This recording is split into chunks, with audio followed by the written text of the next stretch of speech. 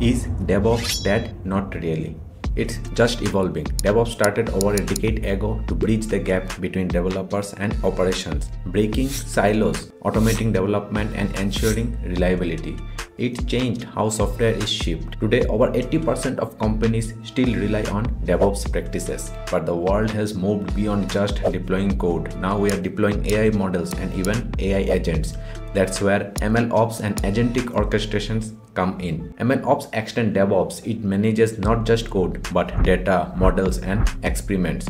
And as AI system becomes more autonomous, we need agentic orchestration, coordinating multiple AI agents that talk to APIs, databases, and each other to complete complex tasks. The demand is booming. The DevOps market will hit $25 billion by 2028, while ML ops and AI orchestration tools are growing at over 40% annually. To adapt, master Python for ML workflow, Docker, and Kubernetes for containerization, MLflow, Kubeflow, or Airflow for orchestration, even explore LangChain, Llama Index, or AgentKit for agentic workflows. DevOps is not dead, it's evolving into ML Ops and Agent Ops, where you don't just orchestrate infrastructure, you orchestrate intelligence.